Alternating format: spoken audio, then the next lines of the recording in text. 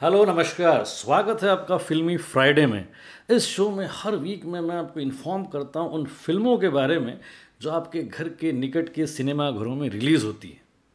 यह single screens हो सकती है मल्टीप्लेक्सेस हो सकते हैं और फ़िल्में भी किसी भी भाषा की हो सकती है। इस वीक से सिनेमाघरों में 100 परसेंट सिटिंग कैपेसिटी को अलाउ किया गया है और आशा है कि आने वाले वीक्स में हिंदी फ़िल्मों की संख्या बढ़ेगी और साथ ही साथ बड़ी ब्लॉकबस्टर फ़िल्मों की भी लाइनअप अनाउंस होगी। इस सप्ताह में, यानी 5 फेब 2021 को सिनेमाघरों में रिलीज़ हो रही है चार फ़िल्में, जिनमें से एक इंग्लिश है, दो तमिल है और एक है तेलुगु फ़िल्म।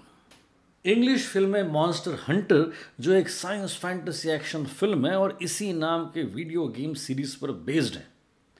इसे डायरेक्ट किया है पॉल डब्ल्यू एस एंडरसन ने, जो इवेंट हॉराइजन मॉर्टल कॉम्बैट और रेसिडेंट एविल जैसी फ़िल्में डायरेक्ट कर चुके हैं। मेन लीड एक्ट्रेस है मीला जोविच और सपोर्टिंग कास्ट में है Tony Jaa Tip T I Harris Meagan Good और जोश हिलमैन ये दिसंबर चार 2020 को रिलीज़ हुई चाइना में और उसके बाद यूएस में रिलीज़ हुई 18 दिसंबर 2020 को और बॉक्स ऑफ़िस पर इसका रिस्पांस बिलो एवरेज रहा है।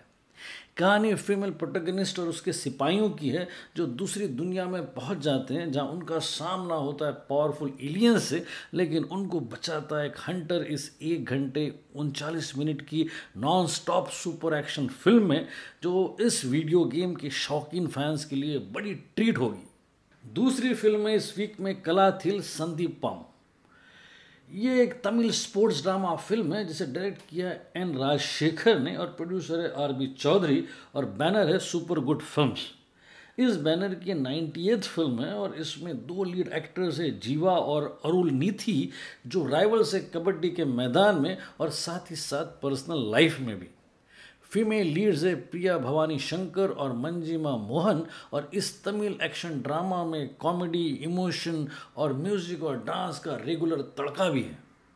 फिर है एक और तमिल फ़िल्म ट्रिप, जो कि कॉमेडी हॉरर फ़िल्म है और इसे डायरेक्ट किया है डेनिस मंजुनाथ ने और एक्ट्रेस में है योगी बाबू, सुनैना, करुणाकरण, मिस्टर प्रवीण और मोताई राजेंद्रन। कहानी दोस्तों के ग्रुप की है, जो एक घने जंगल से ट्रैवल करते वक्त दो अनजान लोगों से टकरा जाते हैं, जिन्हें वो खुनी समझने लगते हैं और फिर कुछ देर बाद असली खुनी भी उनसे टकरा जाते हैं।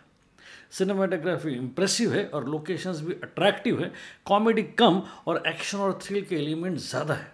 और चौथी रिलीज़ है इस वीक में जोम्बी रेड्डी जो Telugu action comedy horror film है और इसे डायरेक्ट किया है प्रशांत वर्मा ने और प्रोड्यूसर है राजशेखर वर्मा। कहानी टॉपिकल है, जिसमें कोविड 19 के वैक्सीन की खोज हो रही है और एक्सीडेंटली जोम्बी वायरस से इसके कैरेक्टर्स इन्फेक्ट होने लगते हैं।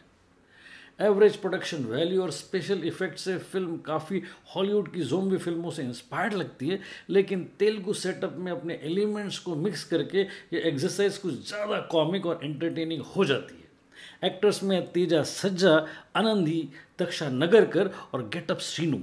ठीक ठाक लग रही है ये फ़िल्म इन चार फ़िल्मों के अलावा जो पिछले वीक से इस वीक में थिएटर्स में कंटिन्यू होगी, वो है The Master The Little Things The Secret Garden Wonder Woman 1984 और टेनेट और अब अगर हमें चयन करना हो उन तीन फ़िल्मों का जो इस वीक की प्रायोरिटी व्यूइंग लिस्ट में होगी तो इनमें तीसरी फ़िल्म है जोम्बी रेड्डी इसे देखा जा सकता है क्योंकि जोम्बी और कॉमेडी का स्मार्ट मिक्स दिखाई दे रहा है इसमें। दूसरी फ़िल्म है मॉन्स्टर हंटर इस हॉलीवुड की साइंस फिक्शन फ़िल्म का स्टाइल और हाई प्रोडक्शन वैल्यू और एक्शन काबिल तारीफ़ है। और प्रायोरिटी व्यूइंग लिस्ट में पहले नंबर पर इस वीक में है द लिटिल थिंग्स इस साइकोलॉजिकल क्राइम थ्रिलर में डेंजल वॉशिंगटन और रैमी मलिक पीछा करते हैं एक सीरियल किलर का, जिसका कैरेक्टर निभाया जेड लेटो ने और सारी ही दुनिया में उनकी तारीफें हो रही है। तो ये थी लिस्ट इस वीक की। अगले वीक में फिर नए वीडियो के साथ मुलाकात होगी। तब तक के लिए अपना ख्याल रखें।